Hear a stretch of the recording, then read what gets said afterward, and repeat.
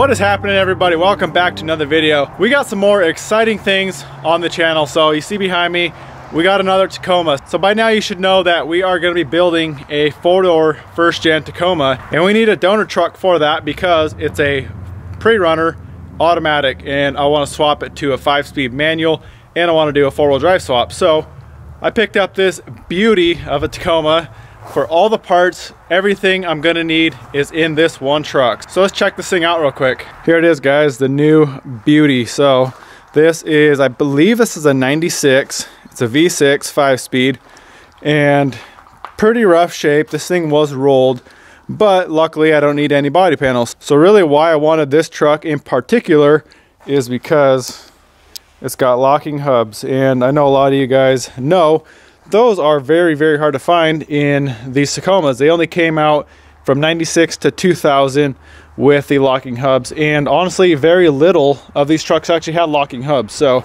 that is what I wanted. I want to do full mechanical locking hubs, mechanical transfer case, just eliminate a lot of the wiring I've learned on the 4Runner that Toyota and their electronic four-wheel drive systems really aren't the best. So we're going full mechanical, locking hubs, mechanical J-shift, transfer case. So that is gonna be the most simple and reliable four-wheel drive system really in these Tacomas. I know I'm gonna get some questions on why I bought an entire truck just for the four-wheel drive and transfer case and tranny. So buying an entire truck, if you can find a good deal on it, is gonna save so much money, so much time, and all the little pieces that you're gonna need, you know, even just little hardware that you're gonna need in the swap I have every single nut and bolt, every part I could ever need to swap into that truck. So it's all right here. And I only paid $1,500 for this truck. I kind of priced it out a little bit. If I were to go to like a local junkyard and get used parts, you'd be well over two grand worth of parts just to do the four-wheel drive and the transmission swap. So that in itself is gonna save money. Another good thing, what I have always liked to do in buying an entire vehicle for a donor is you can sell so many parts off it. And that is one reason why I want to get to work on this truck right now, taking parts off it before we actually start building the green truck because I have people wanting the motor, the axle, and a bunch of other parts on it. So I want to get these parts sold, recoup some of that money, and I can pull everything I need for the swap, get it all cleaned up, painted, fixed up, whatever needs to be fixed on it. And then we can pull the four door in and just get swapping everything over. It's gonna make it that much easier. And if you guys need any parts, feel free to hit me up. I'll have my email address down in the description or you can message me on Instagram. If you guys see something you need, feel free to shoot me a message. So what I wanna get started with is getting the motor pulled out because I have somebody that wants this entire motor and selling the motor itself is gonna pay for almost half of what I paid for this entire truck. So wanna get the motor out, get that sold, and then we can start pulling all the suspension off. I got someone that wants rear axle and rear leaf spring, so I got to pull those. So let's make some room in the shop. We'll pull this truck in and get working on pulling the motor.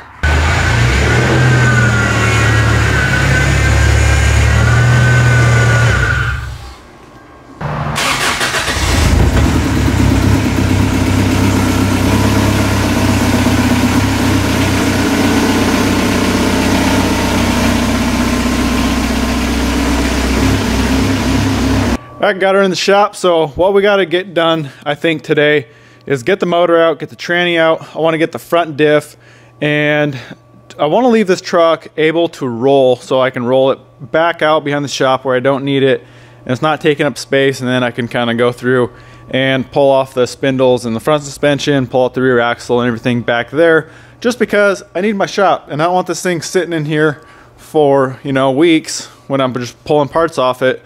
So that's the game plan, get the motor tranny, basically get everything off that I need for my truck other than like like I said the suspension so I'm still able to roll it.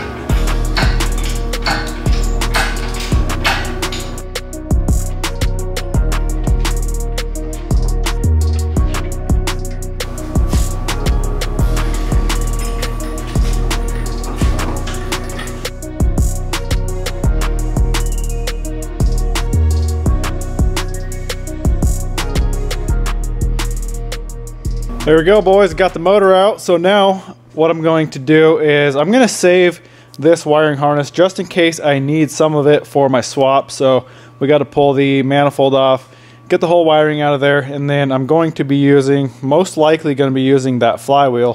So I'm going to pull that clutch and flywheel off, and then we'll see if this guy wants a motor. But in the meantime, we got, I want to pull the tranny, like I said, pull the front diff, get most of what I need out. I know I'm going to use all the, the whole clutch system, so I'm going to pull all that and then obviously the pedal, everything inside and stuff like the AC lines and maybe some brake lines. I'm not sure exactly what I'll be needing. So we'll get to pulling that manifold off, get that wiring and grab that flywheel and then we can start ripping stuff out of here.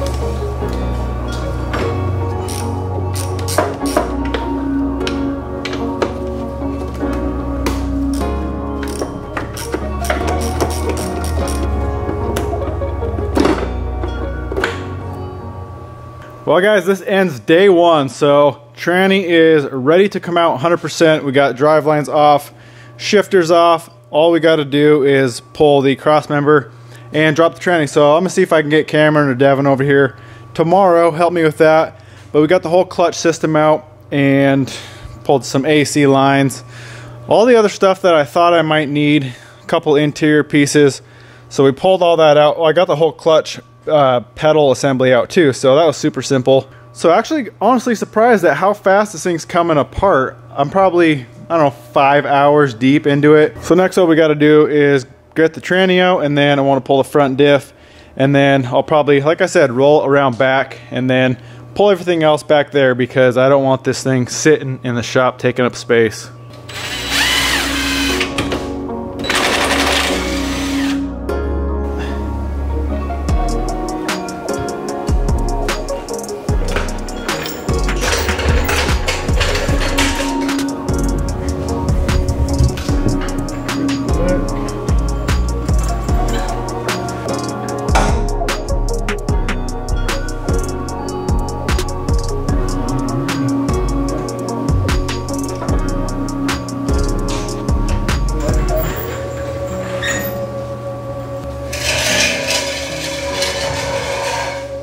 Alright guys, got the tranny out, ready to go. So that's about as far as I'm gonna go, taking this thing apart in the shop.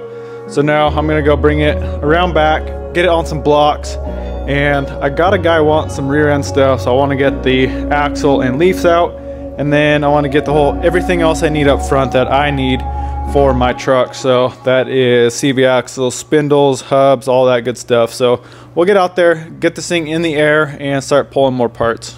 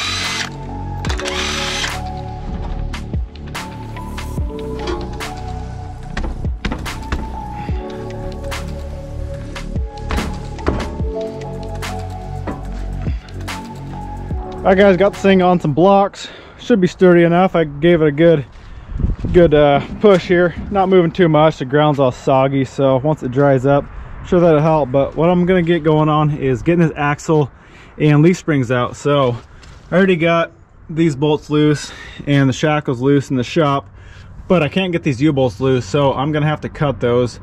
Those are extremely rusted and will not loosen. So I'm gonna get the generator out get me a cutoff wheel, snip them U-bolts off, and axle should be out, and then we'll have to uh, take the bolts out for the leaves, and then we can pull the leaves out.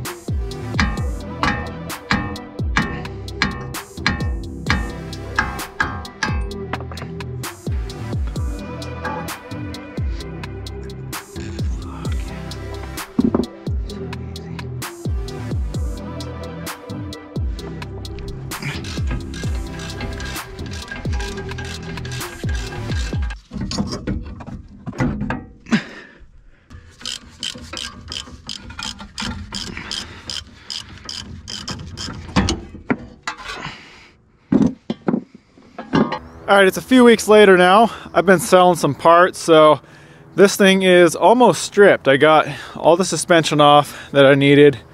I'm not using the struts or anything. I got new ball joints.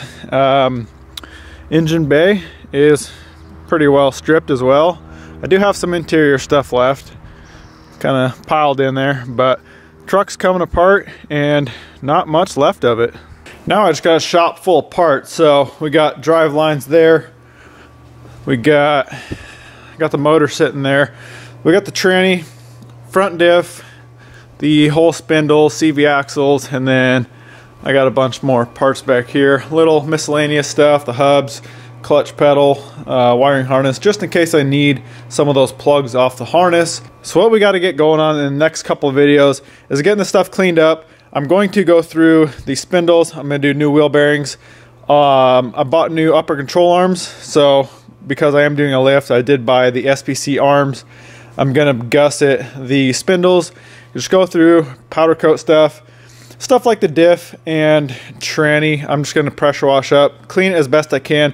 I'm not going to go through and strip the entire tranny apart and front diff to, you know, coat it and paint it. We're going to see what we can do. Um, if I get it cleaned up enough, I might spray some paint on the uh, diff, but tranny, it's all aluminum, so I think I'm just going to clean it up, scrub it up as best I can. It's mostly hidden anyway, so I'm not really worried about getting it, you know, 100% mint, but either way, we got to go through all this stuff and get it all cleaned up. Also, these CV axles aren't really that expensive. They're like 75 bucks a piece from Napa and I have the cores, so that's not, I'm not going to be anything on top of that. So instead of rebuilding these, and actually one of them has a bit of play anyway, so I think I'm just going to bring these in, swap them out for a new set of axles, just so I can start fresh. And honestly, to reboot these things is going to cost almost as much as buying new axles. So I'm just going to go through, buy new axles, and be done with it. So I'm gonna wrap this video up right here. Definitely stay tuned on the channel if you wanna see everything we gotta do to this stuff, get all rebuilt, gusseting the spindles, rebuilding the spindles, redoing the wheel bearings, all that good stuff. So stay tuned, new videos coming out very soon for that. I really hope you guys enjoyed the video. Go smash that thumbs up button, comment, subscribe. We'll see you in the next one.